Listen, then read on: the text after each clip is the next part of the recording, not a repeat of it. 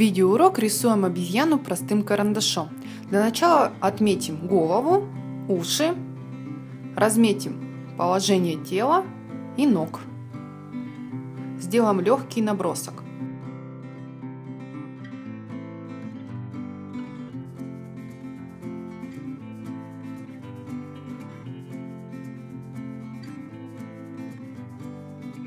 Наметим хвостик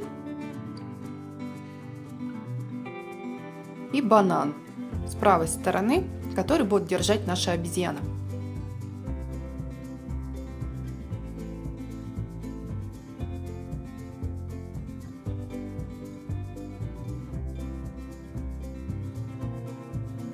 Поточнее обрисуем голову, щечки, ушки. Также добавим ручки, которые держат банан. И после этого можно начать делать более детальную прорисовку. Обращаемся к мордочке, делим ее пополам, находим ее центр. Намечаем линию для глаз. Примерно размечаем глазки. Улыбку. И начинаем более детально обрисовывать. Начнем с глаз. Сделаем их форму более круглую. Снизу добавим линию щеки, чтобы подчеркнуть, что обезьяна улыбается. Добавим радужку, зрачок и немножко радужку заштрихуем, чтобы добавить ей небольшой тон.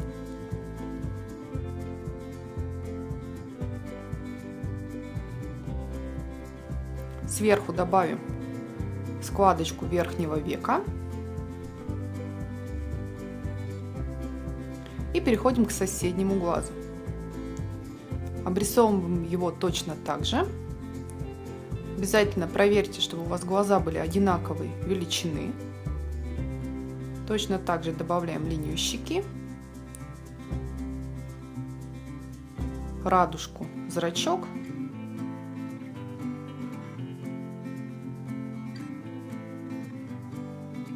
Тоже радужку немножко подштрихуем сверху.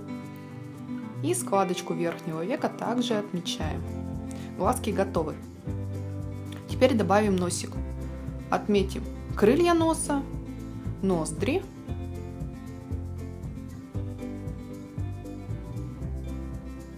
Небольшой намек на спинку носа, который переходит в объем брови. Одну бровь сделаем выше, другую ниже, для харизматичности нашей обезьяны.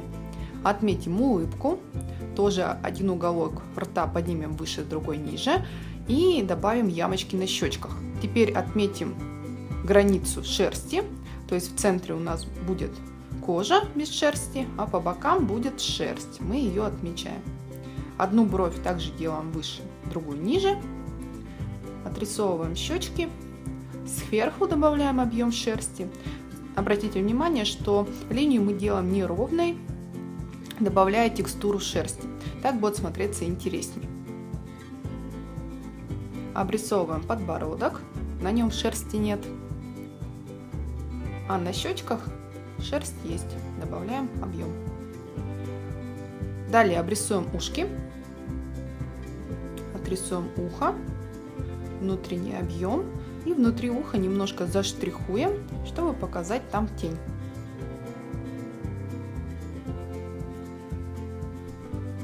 Обратите внимание, чтобы уши были на одной линии. Не было такого, чтобы одно ухо выше, другое ниже. Проверьте это и добавляйте второе ухо. Теперь начнем обрисовывать дальше. Разметим верхнюю часть банана.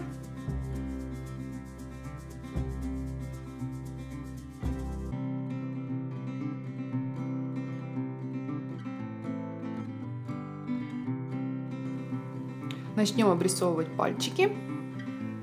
Центральный пальчик чуть выше, боковые чуть меньше. Они огибают банан. Так обрисовываем каждый пальчик.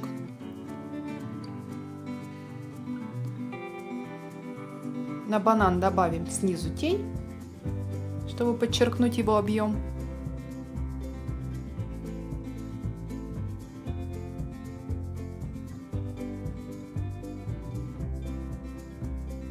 Отрисовываем вторую руку. Также неровной линией добавляем текстуру шерсти и снизу виднеющуюся часть кисти. Но ее не видно, так как она держит банан. И полностью банан отрисовываем.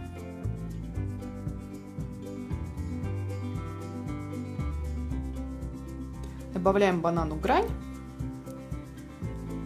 По бокам его затемняем небольшим штрихом.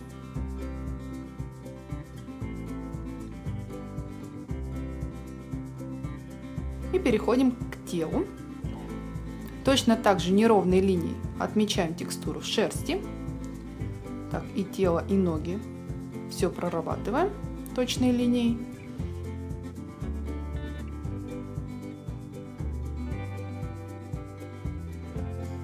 Ставим на животик тень небольшим штрихом.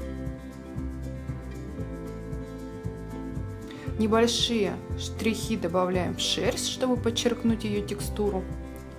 И отрисовываем пальчики ног.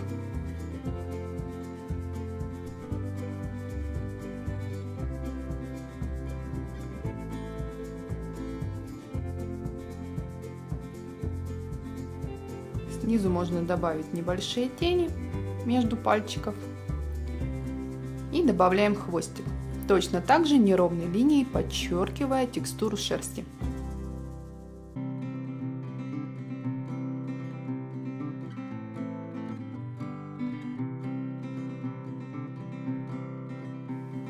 Далее все лишние линии построения убираем ластиком либо клячкой и карандашиком линии уточняем, если нужно. И можно сказать, рисунок готов. То есть вы можете его оставить в таком черно-белом варианте, просто уточнив какие линии, какие-то линии, усилить тени и рисунок готов. Но я решила немножко цветными карандашами добавить цвета, совсем чуть-чуть. В скетче это разрешается, поэтому я в шерсть местами добавляю коричневый штрих. Именно местами, чтобы все-таки рисунок был не до конца проработан, чтобы все-таки оставался скетчем.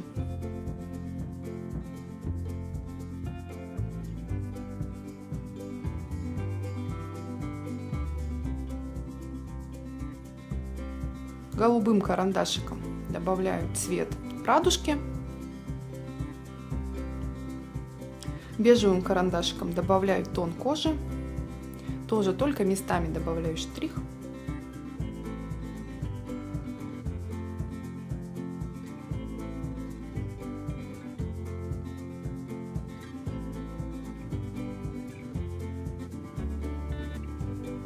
Добавляем розовый штрих на носик, на щечки. И желтым карандашом немножко затонируем банан. И на этом все, рисунок готов. Большое спасибо за внимание. С вами была Дерри Арт. Помните, рисовать может каждый. Пока-пока!